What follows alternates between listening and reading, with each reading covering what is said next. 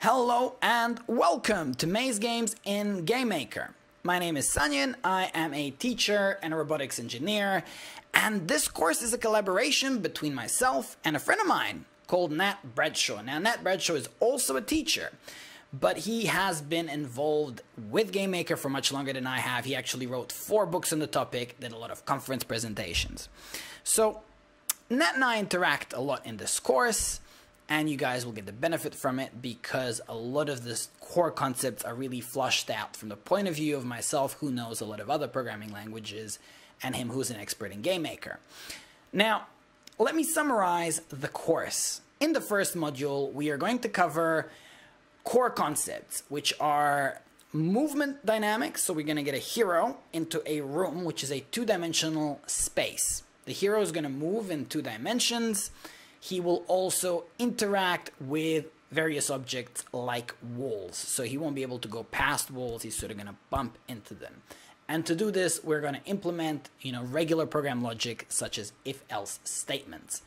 In the very next module, we are already going to have a working maze game. You're going to have your character going around the maze. He will be collecting gems, and those gems are going to be tracked by a variable called score. In Module 3, things get very interesting. So we have parent-child relationships, which are exactly like classes in object-oriented programming. We're going to have templates for gems, which will make us produce various different kinds of gems. Templates for monsters, which are then going to create monsters of different speeds, health, various characteristics. You're going to have first initial monsters with some artificial intelligence. In the fourth module, we're going to have advanced monsters, which can follow us around the maze. We're going to have a health uh, variable. So that means that when we bump into monsters, we lose health, and we also have a physical reaction such as freezing or bouncing off of monsters. And finally, in this module, we also create additional rooms, which means that our character can now go from level to level to level, and in theory at least, we have infinite space in our game world.